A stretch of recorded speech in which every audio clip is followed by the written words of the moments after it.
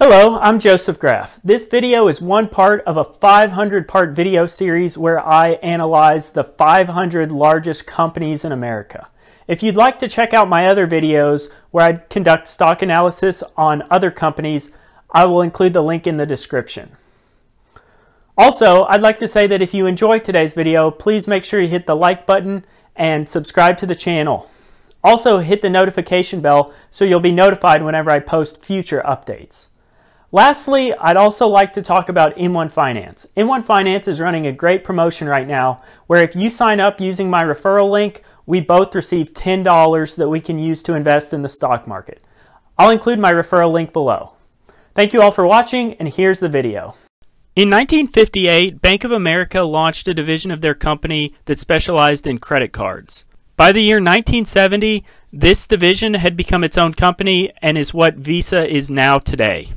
Visa is a financial technology company that specializes in financial services, particularly credit and debit cards.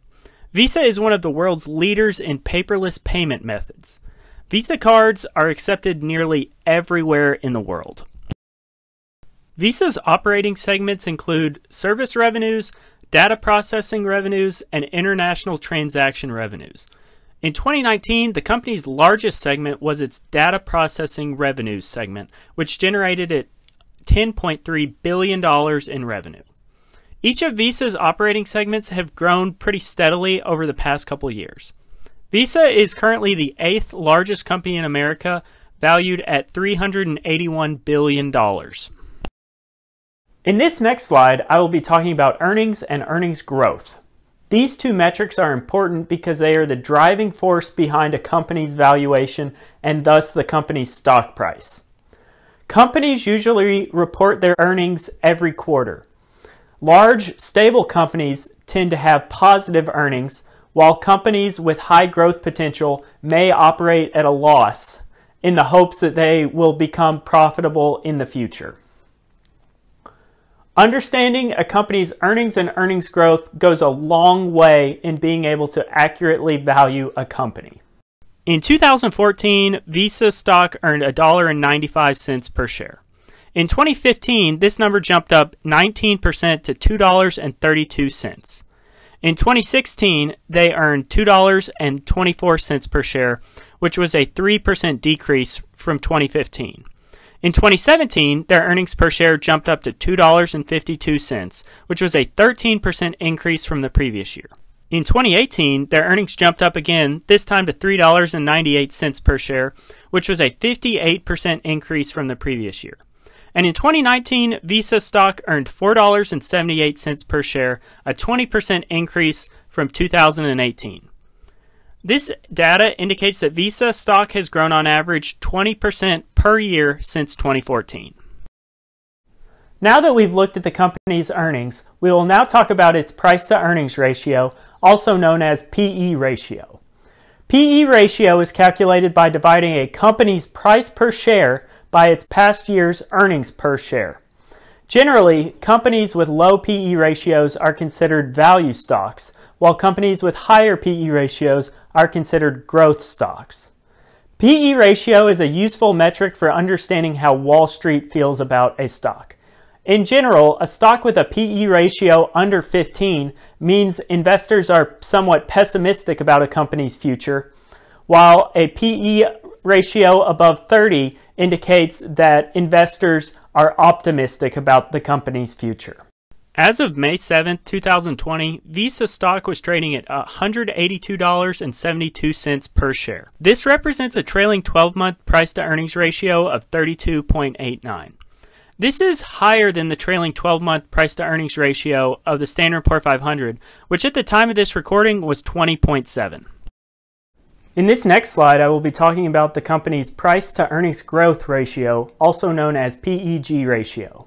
This ratio is calculated by taking a company's PE ratio and dividing it by the company's growth rate in terms of a percentage. It is generally thought that companies with a PEG equal to or around 1 are fairly valued. Companies with a PEG above 1 may be overvalued, while companies with a PEG ratio below 1 may be undervalued. PEG is a popular metric among many investors because it takes both a company's earnings as well as earnings growth into account. As of May 7, 2020, Visa stock was trading at $182.72 per share. This represents a 2.14 trailing 12 month price to earnings growth ratio. This indicates that Visa may be overvalued if you use this as the sole metric to evaluate Visa stock. In this next slide, we will go over the company's dividend yield, dividend growth rate, and dividend payout ratio. Dividends are generally a sign of a healthy, profitable, mature company.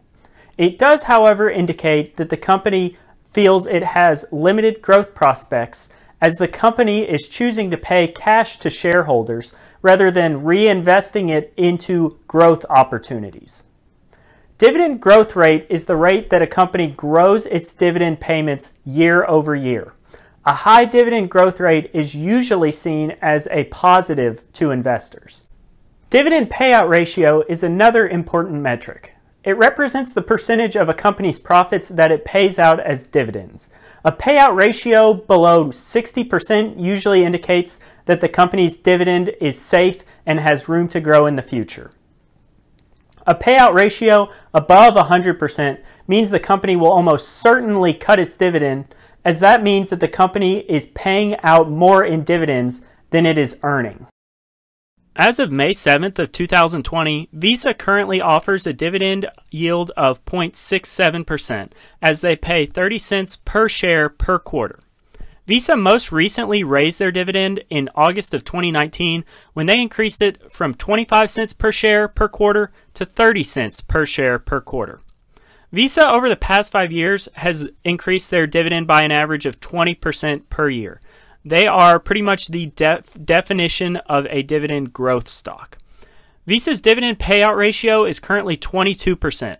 This indicates that they have a lot of room to potentially grow their dividend in the future, and I would consider their dividend to be pretty safe at the moment.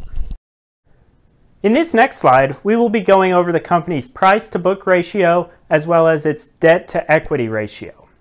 The book value of a company is essentially the value of all of its assets. Book value per share is simply the book value divided by the number of outstanding shares. Furthermore, the company's price to book is just its price per share divided by its book value per share.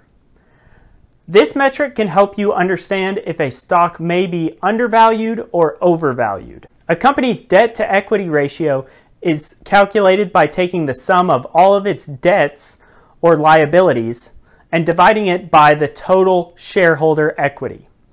In general, companies with a lower debt to equity ratio are better equipped to withstand an economic downturn.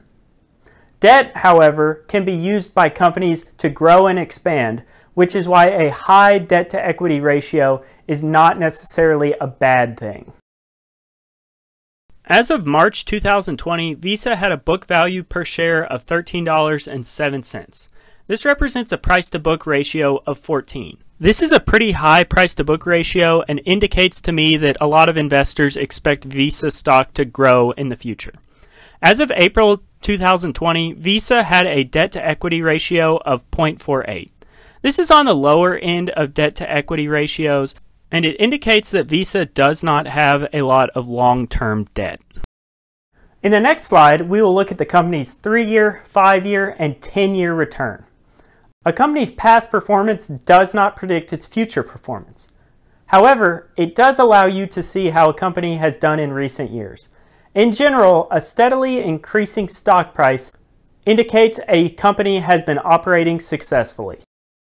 If you had bought Visa stock on May 8th of 2017, held it for 3 years and reinvested all the dividends you received, you would have seen an average annual return of 25%. If you had bought Visa stock on May 8th of 2015, held it for five years, and reinvested all the dividends you received, you would have seen an average annual return of 23%. And if you had bought Visa's, Visa stock 10 years ago on May 8th, 2010, held it for all 10 years, and reinvested all the dividends you received, you would have seen an average annual return of 26%. In this next slide, I give my grades for this stock.